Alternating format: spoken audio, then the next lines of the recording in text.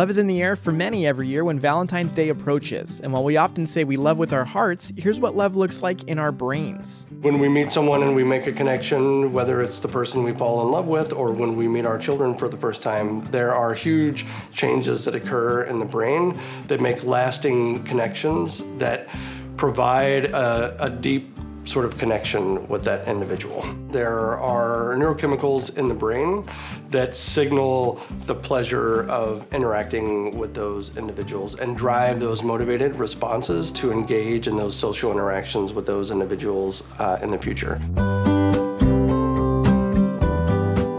Maybe you picture Cupid with an arrow, but your mind is experiencing a joyous chain reaction. Things like dopamine and serotonin and norepinephrine. So these are chemicals that are synthesized by specific brain cells.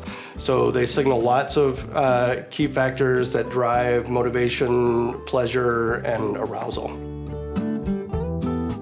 If these reactions are so crucial in forming loving bonds, how early do they start happening? The first impressions are, are really important because that's when we establish that the individual that we meet is receptive to social interaction and engaging with us.